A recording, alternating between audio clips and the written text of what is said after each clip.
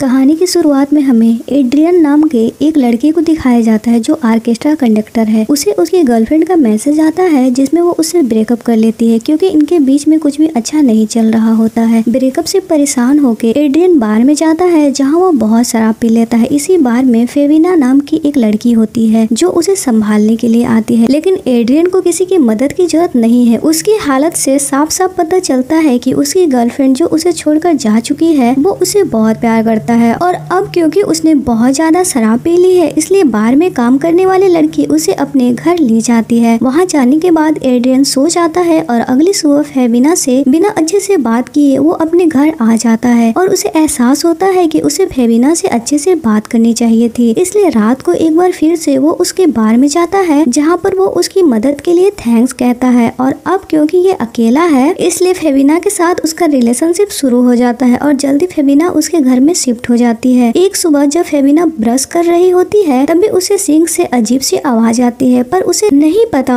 कि ये आवाज़ किस चीज़ की है। अब जब वो नीचे जाती है तो देखती है कि वहाँ पर टेबल पर बहुत सारे पेपर्स बिखरे हुए हैं। इससे पहले कि वो उन्हें टच करती, एड्रियन गुस्से में कहता है कि कभी इन्हें मत छूना। अब इनके घर में डिटेक्टिव आते हैं और उससे उसकी पहले वाली गर्लफ्रेंड के बारे में पूछते हैं। एड्रियन वो वीडियो दिखाता है जो उसकी गर्लफ्रेंड ने आखिरी बार उसे भेजा था, जिसमें उसने कहा था कि इनका रिलेशन अच्छे से नहीं चल रहा है, इसलिए वो घर छोड़कर जा रही है। साथ ही वो अपना सामान भी ले गई होती है और इन दोनों डिटेक्टिव को एड्रियन पर शक है कि इनकी गर्लफ्रेंड जो पिछले दिनों से गायब है, उसे एड्रियन ने मार कर यही कहीं छुपा दिया है। दोनों डिटेक्टिव में से जो जूनियर डिटेक्टिव होता है, वो कभी फेबिना का एक्स बॉयफ्रेंड रह चुका है, इसलिए वो फेविना को अवेयर करता है। वो कहता है की एड्रियन की गर्लफ्रेंड दो दिनों से गायब है और दो दिनों के बाद वो तुम्हें अपनी गर्लफ्रेंड बना लिया, तुम्हें ध्यान रखना चाहिए। फेविना उसकी बात से डर जाती है, लेकिन फेबिना को एड्रियन जैसा ही बॉयफ्रेंड चाहिए था, जो अमीर हो, जो सेटल हो, ताकि उसकी लाइफ इजी हो जाए। इसलिए उसी के साथ रहने का फैसला करती है और फिर फेबिना को कहीं ना कहीं इस घर में अजीब लग रहा होता है। और खास तौर पर बाथरूम में जब वो शावर ले रही थी, तभी अचानक से ठंडे पानी की जगह गर्म पानी आना शुरू हो गया। इससे उनकी बॉडी जलते जलते बच गई। और एक रात को जब वो बाटब में होती है, तभी बाटब का पानी अपने आप ही वाइब्रेट होना शुरू हो जाता है। फेबिना ये देखकर डर जाती है और ये सारी बात एड्रियन को बताती है पर एड्रियन उसकी बातों को ज़्यादा सीरियसली नहीं लेता। दरअसल फेबिना को लगता है कि इस घर में कोई ना कोई आत्मा है जो उसे परेशान कर रही है और जब वो घर में अकेली होती है तभी उसे गले की एक चैन मिलती है जिसमें एक पेंडेंट भी होता है जो कि एक चाबी की तरह है। फेबिना को बहुत अच्छा लगता है इसलिए वो उसे अपने गले में पहन लेती है और, और तभी कुछ देर बाद यहाँ पर लाइट चली जाती है उसे नीचे से कुछ आहट आती है और जब वो नीचे जाती है तो उसके ऊपर कोई हमला करता है। फेबिना गिर जाती है और अब एड्रियन भी घर पहुँच चुका होता है। इसलिए फेबिना के पास जाता है, उसे संभालता है। फेबिना बहुत बुरी तरह से डरी हुई होती है। वो कहती है, मेरे ऊपर किसी ने हमला किया है। एड्रियन कहता है, यहाँ पर अक्सर लाइट जाती रहती है और जिसने तुम्हारे ऊपर हमला किया था, वो मेरा डॉग है। वो कोई इंसान नहीं है। इस घर में कोई आत्मा नहीं है, इसलिए तुम्हें डरना नहीं चाहिए। अगले दिन एड्रियन को पुलिस का डिटेक्टिव का कॉल आता है और उसे बताया जाता है कि उन्हें एक डेड बॉडी मिली है, लेकिन उनकी पहचान करने के लिए उसे आना होगा। यह सुनने के बाद एड्रियन बहुत दुखी हो जाता है लेकिन फेबिना कहीं न कहीं खुश है, क्योंकि वो नहीं चाहती कि उसकी एक्स गर्लफ्रेंड वापस उसकी ज़िंदगी में आए। और अब दोनों के दोनों मॉर्चरी जाते हैं। यहाँ पर एड्रियन बॉडी को देखने के बाद ये कंफर्म करता है कि ये उसकी एक्स गर्लफ्रेंड की बॉडी नहीं है। इस बात से फेबिना कहीं न कहीं नाराज़ हो जाती है। इसे एड्रियन महसूस कर लेता है और फेबिना से कहता है कि तुम्हें दुखी होने या परेशान होने की ज़रूरत नहीं है। अगर मेरी एक्स गर्लफ्रेंड वापस आ भी गई तो भी मैं तुम्हारे साथ रहूँगा। मैं उस रिश्ते से पूरी तरह से मूव ऑन हो गया हूँ। ये सुनकर फेबिना को बहुत अच्छा लगता है। ये दोनों के दोनों घर वापस आ जाते हैं और जब एक दूसरे के क्लोज होते हैं तो फेबिना के सामने एक मिरर को दिखाया जाता है और उस मिरर के दूसरी तरफ़ एक लड़की होती है, जिसकी हालत बहुत ज़्यादा खराब है और ये लड़की और कोई नहीं एड्रियन की एक्स गर्लफ्रेंड है, जो पिछले कई दिनों से गायब है। एड्रियन के लास्ट वीडियो मैसेज किया था और कहा था कि हमारे रिश्ते में कुछ भी अच्छा नहीं चल रहा है, इसलिए मैं तुमसे ब्रेकअप करके इस शहर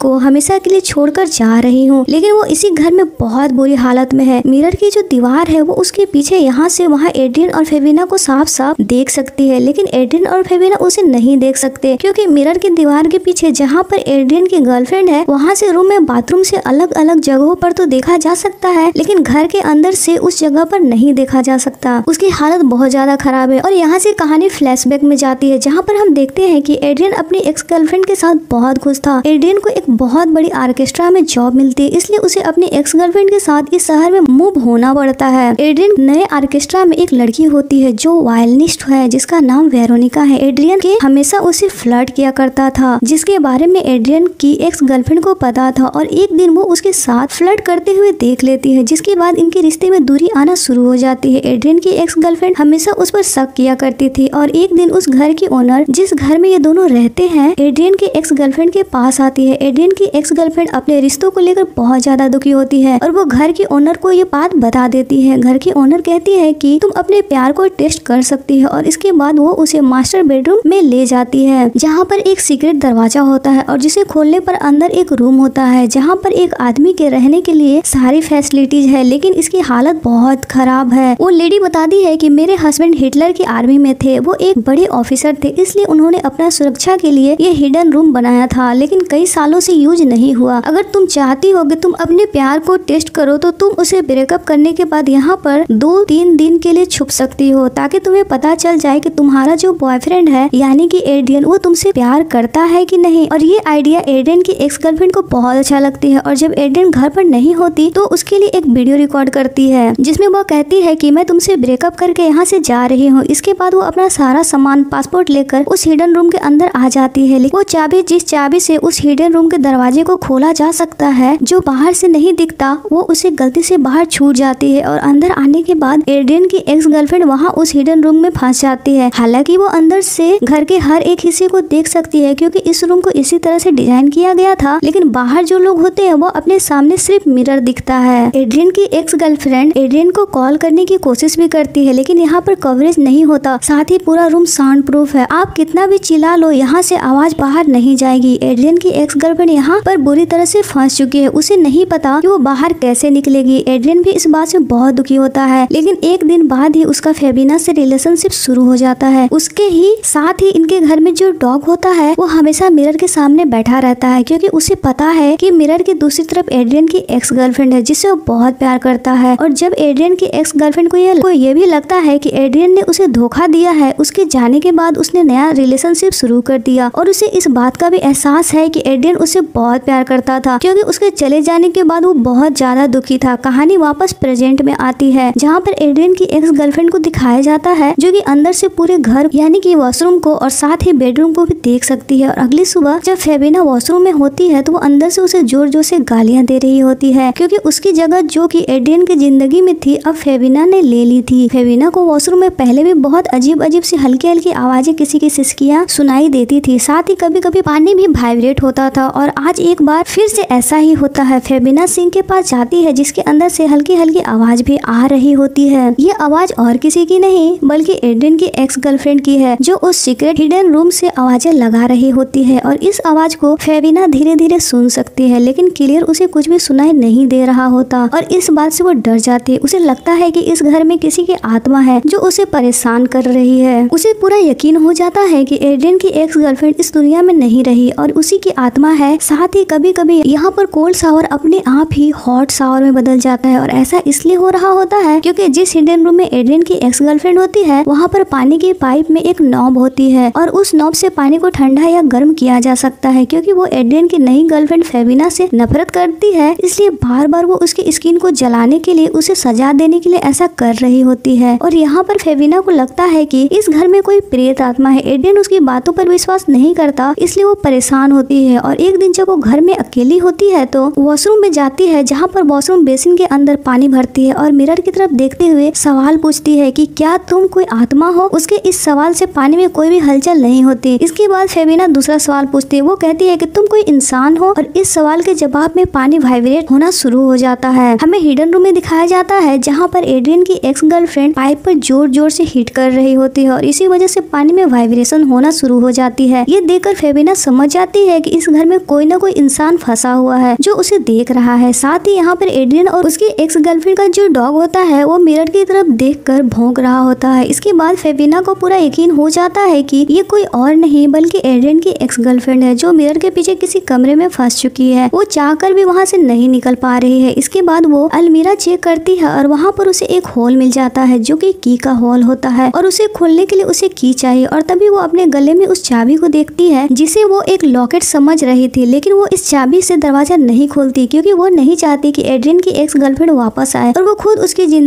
से दूर हो जाए, क्योंकि एड्रियन जैसा लड़का मिलना उसके लिए बहुत मुश्किल है। वो बहुत गुड लुकिंग होता है, बहुत अमीर होता है, इसलिए वो उस बेडरूम को ही चेंज कर देती है। जिस बेडरूम के मिरर के पीछे वो हिडन रूम है, जहाँ पर एड्रियन की एक्स गर्लफ्रेंड है, और अब एड्रियन जब घर आता है तो बहुत ही शांत रहता है। वो पहले से ही बहुत बदला बदला हुआ है। फेविना को लगता है कि वो अपने एक्स गर्लफ्रेंड के चलते वो इस तरह से परेशान है, इसलिए वो ज़्यादा रिएक्ट नहीं करती। और अगले दिन उसका वो दोस्त आता है, जो कभी उसका एक्स बॉयफ्रेंड हुआ करता था, जो कि अब एक डिटेक्टिव है, वो उसे एडेन के कुछ फ़ोटो दिखाता है, जिसमें वो एक लड़की के साथ होता है, जो कि और कोई नहीं, बल्कि उसी के साथ काम करने वाली उसकी वायलिस्ट वेरोनिका होती है। वो वेरोनिका को किस कर रहा होता है। यहाँ पर फेविना को समझ में आ जाता है कि और फिर फेविना को फिर से एडेन की एक्स गर्लफ्रेंड को पुकारती है, लेकिन पानी में कोई वाइब्रेशन नहीं होती, यानी कि वो उसकी बात का जवाब नहीं दे रही है। फेविना घबरा जाती है, क्योंकि एडेन की एक्स गर्लफ्रेंड को गायब हुए दो हफ़्ते से ज़्यादा हो चुके हैं, इसलिए वो सिगरेट दरवाजे को खोलकर अंदर जाती है। अंदर की हालत बहुत ज़्यादा खराब होती है। वही कॉर्नर में एक बेड भी होता है, जहाँ पर एड्रियन की एक्स गर्लफ्रेंड बेहोश होती है। और जब फेबिना उसके पास जाती है तो एड्रियन की एक्स गर्लफ्रेंड उसके सिर पर बोतल से हमला करके उसे बेहोश करके उसे वहीं बंद करके बाहर आ जाती है। और चाबी भी अब उसके पास है, यानी कि अब फेबिना अंदर कैद हो चुकी है। जिस तरह से एड्रियन की एक्स गर्लफ्रेंड थी, दरअसल वो बेहोश होने के नाटक कर रही थी। और अब जबकि आज़ाद हो चुकी है तो सबसे पहले वो फ्रेश होती है और इसके बाद अपनी और एड्रियन की एक फ़ोटो उसी मिरर पर चिपका देती है। जिस मिरर के पीछे अब फेबिना कैद है, साथ ही उसके पास जो चाबी होता है, वो उस की को एड्रियन के कमरे में छोड़कर यहाँ से निकल जाती है। एड्रियन जब रात को घर आता है तो उसका डॉग उसे भोगता हुआ की के पास ले जाता है। साथ ही वो देखता है कि सामने मिरर के ऊपर उसकी और उसकी एक्स गर्लफ्रेंड की फ़ोटो है और इसी मिरर के पीछे फेबिना भी कैद है, जो उसे देख रही होती है। लेकिन उसे अंदाज़ा नहीं है कि इस मिरर के पीछे फेबिना है। उसकी दूसरी गर्लफ्रेंड भी गायब हो चुकी है और इसका इल्ज़ाम भी उसी के ऊपर आएगा और इसी